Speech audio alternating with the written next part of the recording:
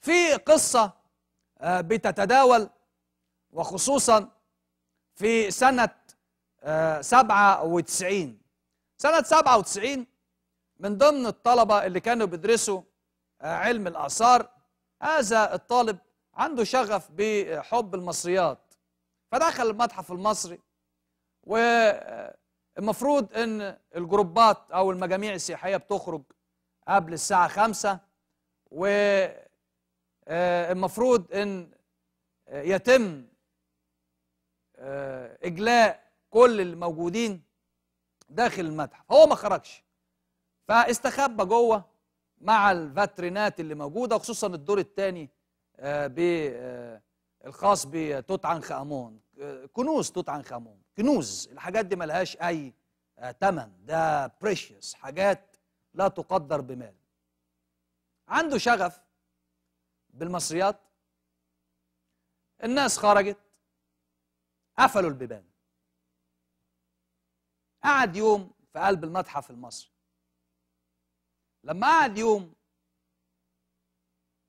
الصبح في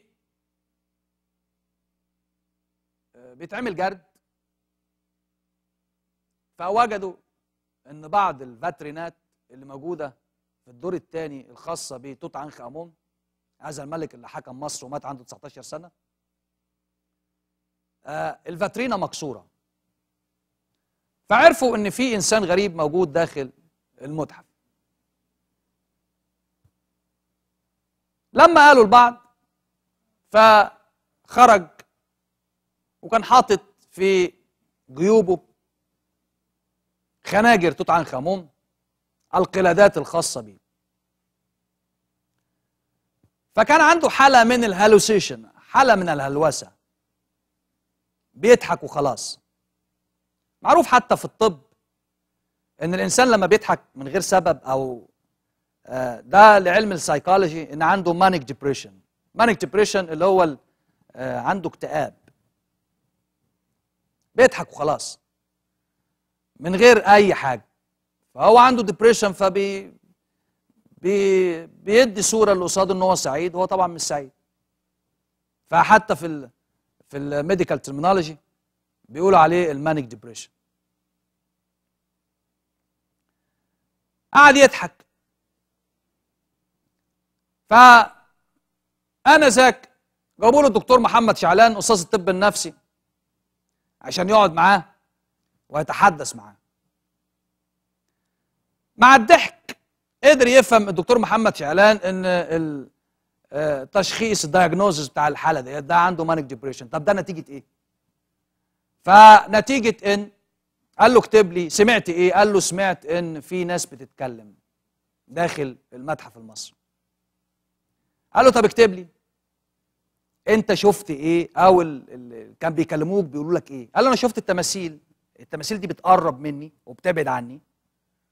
وفي ضحك وفي آه التماثيل دي بتتحرك والكبرى عمالة تيجي. قال له طب قول لي بالظبط قالوا لك إيه؟ فجاب ورق فكتب باللغة الرغليفيه آه الجمل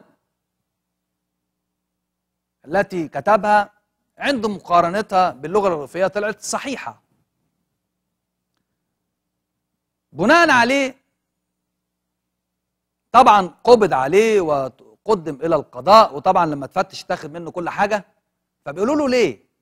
أنت يعني دخلت المتحف المصري ليه؟ فقال عندهم عندي شغف وعايز أعرف العالم ما وراء ال- ال- اللي موجود التماثيل ده فيه إيه بالظبط؟ عندي حب وعندي شغف فعايز أعرف. طبعا اتحاكم لكن أنا لو بص بصيت من الواجهة آه الأخرى وهو مدى شغفه. ده مش هو بس كده ده ناس كتير ملايين في العالم عندهم شغف بهذه آه الحضارة. متحف الأقصر لما أجي أخش متحف الأقصر كده هلاقي جامع أبو الحجاج شمالي. خش متحف الأقصر طريق الكباش هلاقي متحف أبو الحجاج شمالي. متحف آه، مسجد أبو الحجاج جامع أبو الحجاج شمالي. فوق الوول فوق ال- الحائط هلاقي آه، عند هلاقي جامع أبو الحجاج. هكمل متحف الأقصر آه، معبد الأقصر. هكمل في الآخر في الآخر ألاقي غرفة هذه الغرفة اسمها غرفة الماميزي. إلى الآن. الغرفة ديت دي غرفة الولادة الإلهية. divine birth دي لمين؟ دي لحتشبسوت خش الغرفة ديت أنا الكلام ده هشرحه بالتفصيل. خش الغرفة ديت هلاقي غرفة عليها رسومات. الرسومات دي هلاقي البقرة حتحور إلهة مقدسة. ولو وقفت عند البقرة حتحور كده دي كانت الهه تعبد. البقرة حتحور. ولا الإله سبك اللي هو التمساح البقرة مع التمساح. وهلاقي برضو ال ال furious lion اتأسد مع بعض. فهبص ألاقي حتشبسوت. هذه المرأة التي حكمت مصر عشرين سنة. لها معبد رائع دير البحري. قطعة فنية منحوتة في الجبل. ثلاث أدوار. هنشرحه بالتفصيل. ثلاث أدوار. معبد الدير البحري معبد حتشبسوت. طبيعة المصريين منذ القدم ما بيؤمنش بالمرأة أن تكون رئيسة حاكمة. قالت فكرة. هذه الجميلة حتشبسوت. اسمها بالغرفية حاتشبسوت مش حتشبسوت حاتشبسوت. هذه المرأة الجميلة ذات الجمال وذات الأناقة وذات الذكاء التي كانت تجيد عدد من اللغات الأجنبية.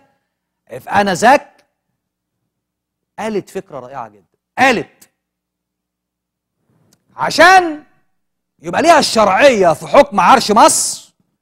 قالت أسطورة جميلة جدا. قالت إن الإله آمون رع أتى إلى والدتها الملكة أحموزة في صورة كوبرا لأن الكوبرا كانت بتعبد في مصر. فحصل في sexual affair علاقة جنسية. عن طريق هذه العلاقة الجنسية أتت حتشبسوت إلى العرش. فلما قالت الكلام دوت إلى المصريين القدماء وقالت لهم أنا الإله آمون رع أتى إلى أمي الملكة أحموزة في الحلم. في سورة الكبرى وهي عارفة تماما أن الكبرى ده إله بيعبد في مصر القديمة. وعن طريق هذه العلاقة أتت أحمو أتت حتشبسوت إلى العالم. صدقها المصريين القدماء وبناء عليه حكمت مصر لمدة عشرين سنة وبنت معبد موجود ما فيش زيه في العالم. تحفة فنية موجودة في الجبل الدير البحري اللي هو معبد حتشبسوت.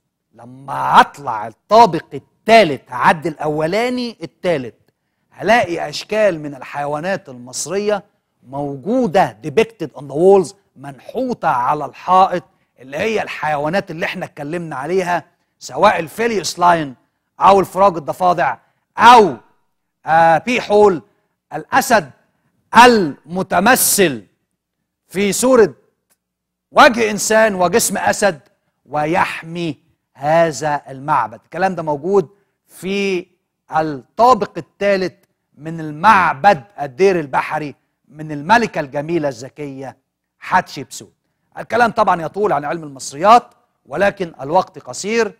وأشكركم على حسن المشاهدة وحسن الاستماع شكرا مع السلامة.